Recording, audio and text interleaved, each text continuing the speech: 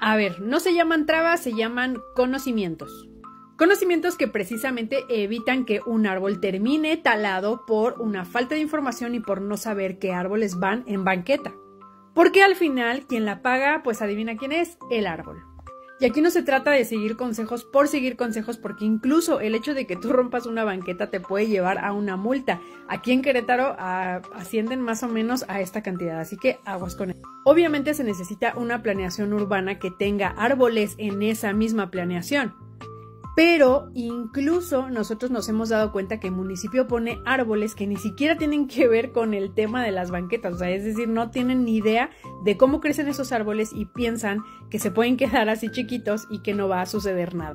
El rollo es que después se vuelven un problema y los andan desmochando, los andan talando o los andan quitando por falta de conocimientos sobre los árboles.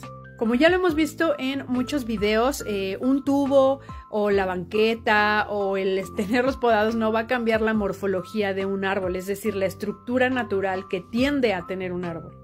Por eso es importante que elijas una especie adecuada precisamente para que no termine pagándole el árbol porque aquí no se trata de sembrar lo que quieran y como quieran, porque precisamente terminamos viendo este tipo de tragedias sobre árboles cuando no tenemos los conocimientos adecuados sobre los árboles. Por eso les estoy poniendo el conteo de los cinco árboles y les voy a poner el conteo de otros cinco más y otros cinco más para que tengan muchas opciones y no anden poniendo árboles inadecuados para que terminen así talados como Venecia. Así que no, no es que uno les ponga trabas, es que ustedes aprendan a tener la información porque la información es responsabilidad. Así que tú teniéndola ya no vas a poder poner justamente un ficus en una banqueta sabiendo el pachangón que va a armar. Así que antes de andar siguiendo consejos de internet, por favor acérquense con personas que saben sobre la morfología de los árboles y la estructura para que no pase eso que acaban de ver en la imagen anterior.